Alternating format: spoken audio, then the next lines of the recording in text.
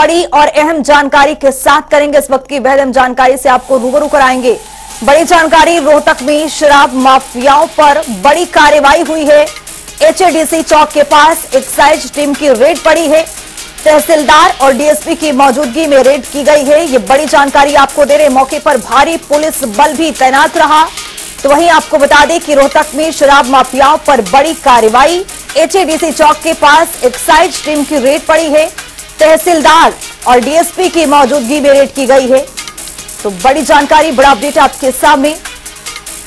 मौके पर भारी पुलिस बल भी तैनात रहा है। तीन अलग अलग जगहों पर चेकिंग चल रही है। आदर्श आचार संहिता के चलते एक्शन मूड में है पुलिस प्रशासन। प्रदेश के कई जिलों में एक साथ कार्रवाई का अंजाम दिया गया है। रोहतक में शराब माफियाओं पर बड़ी कार्रवाई देखी जा रही है। एचडीसी चौक के पास एक्साइज टीम की रेड और इस दौरान डीएसपी की मौजूदगी में रेड चल रही है। मौके पर भारी पुलिस बल भी तैनात रहा है। तो आचार संहिता को देखते हुए ये एक्शन लिया जा रहा है। भारी तादाद में चेकिंग अभियान चलाया जा रहा है। तो आपको बता दें कि प्रदेश के कई जिलों में एक साथ कार्रवाई देखी गई।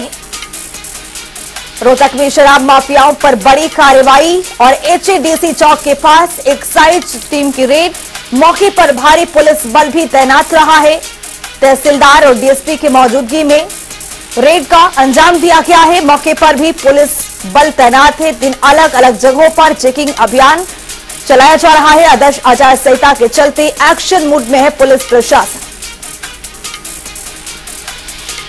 तो आपको बता दें कि रोहतक में शराब माफियाओं पर बड़ी कार्रवाई देखी जा रही है। एचएडीसी चौक के पास एक्साइज टीम की रेड और रेड के समय तहसीलदार और डीएसपी दोनों ही मौजूद थे। हमारे साथ हमारे सहयोगी रोहतक से संजय जुड़ चुके हैं। संजय, शराब माफियाओं पर भारी यहाँ पर शिकंजा कसता हुआ पुलिस प्रशासन की ओर से। बिल्कुल, देखिए, ये मामला रोहतक का है। जब साढ़े दस बजे के करीबन एक्साइज की टीम जो है, तहसीलदार राकेश सैनी के साथ, राजेश सैनी के साथ मिलकर जो है, पुलिस बल जो है एक्साइज की टीम जो है एलवन पर पहुँची तो साफ़ तौर पर जब ये कहा जा रहा था कि शराब माफियाओं पर शिकंजा कसने के लिए पुलिस पूरी तरह से जो है तैयार है और एक टीम बनाई गई है। हालाँकि ये बताया गया था कि एक ही जगह जो है ये रेड मारी गई है लेकिन उसके बाद जब पता चला तो तीन जगह जो है रोहतक ज़िले में लगभग तीन जगह ये रेड की गई है। हालाँकि अभी तक जो है रेड जारी है दस बजे से शुरू हो चुकी थी रेड और अब तक जो है लगातार सर्च अभियान जो है चलाया हुआ है। हालाँकि शराब माफियाओं पर ये बड़ा एक्शन जो है यू प्रशासन की तरफ़ से सरकार की तरफ़ से लिया गया है।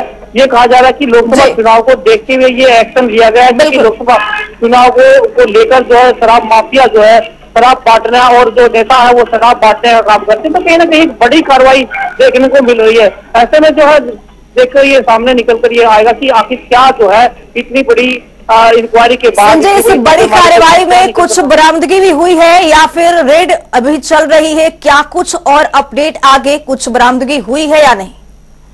देखिए दो घंटे का समय हो चुका है और सर्च अभियान अभी भी जो है चलाया जा रहा है। हालाँकि उसके खाते जो है वो खंगाले जा रहे हैं। रजिस्टर जो है वो मंगाए गए हैं। तहसीलदार खुद जो है एक नोडल अधिकारी जो है वो नियुक्त किए गए हैं। तो कहीं ना कहीं ये कहा जा रहा है कि अभी तक जो है दो घंटे का समय है और लगातार अभी तक जो है रेड जारी है। अब रेड जब रेड खत्म होती है, देखना ये होगा कि क्या जो है निकलकर सामने आता है। बहुत शुक्रिया संजय कुमार, तमाम जानकारी साझा करने के लिए। तो शराब माफियाओं पर शिकंजा कस गया है। तीन अलग अलग जगहों पर चेकिंग अभियान चल रही है। आदर्श आचार संहिता के चलते एक्शन में पुलिस प्रशासन, प्रदेश के कई जिलों में एक साथ कार्रवाई का अंजाम दिया जा रहा है। रोहतक में शराब माफियाओं पर बड़ा शिकंजा देखा गया है।